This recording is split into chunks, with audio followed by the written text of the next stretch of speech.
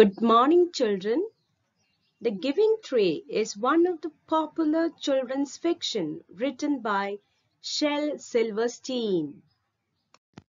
About the author Sheldon Allen Silverstein was an American writer known for his cartoons, songs, and children's books.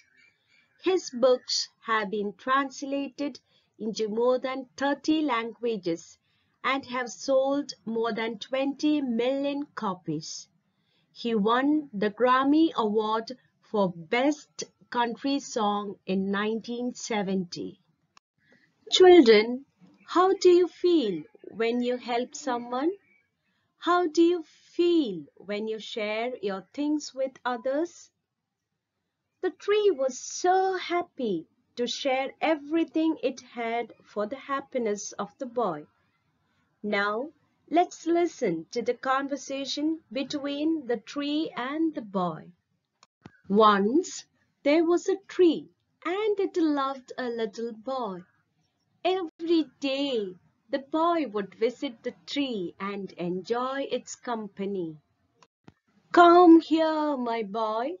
Come and climb up my trunk and swing from my branches. The boy was swinging on its branches and said, Oh, what fun! Are you hungry? Eat my apples.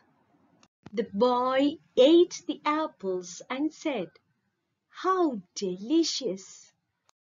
When the boy was tired, he slept under the tree. The tree was happy to give its shade. But time went by, and the boy grew older and went away. The tree was often alone. After some years, one day the boy came to the tree and the tree was very happy. Come, my boy, come and climb up my trunk and swing from my branches. I'm too big to climb and play. I want to buy things and have fun. I want some money. Can you give me some money? I'm sorry, but I have no money. I have only leaves and apples. You can pluck my apples and sell them in the market. Then you will have money. The boy happily plucked the apples and carried them away. The tree was also happy. But the boy stayed away for a long time and the tree was sad. One day the boy came back and the tree shook with joy. Come, boy, come and climb up my trunk. Swing from my branches Eat my apples, play in my shade and be happy. I'm too busy to climb trees. I'm getting married and I need a house for my wife and children. Can you give me a house? I have no house, but you may cut off my branches and build a house. So the boy cut off the tree's branches and carried them away to build a house. The tree was very happy, but the boy stayed away for a long time and the tree was sad again. And when he came back after some years, the tree was so happy that it could hardly speak.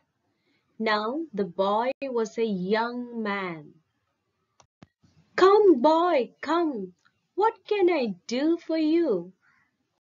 I'm going on a business trip. I want a boat to take me away. Can you give me a boat? All I have left is a trunk. Cut down my trunk and make a boat. Then you can sail away. The young man cut the trunk of the tree and sailed away in a boat. The tree was left only with a stump. And after a long time, The young man came back again. Now he was an old man, but the tree recognized him. I am sorry, friend, but I have nothing left to give you. My apples are gone.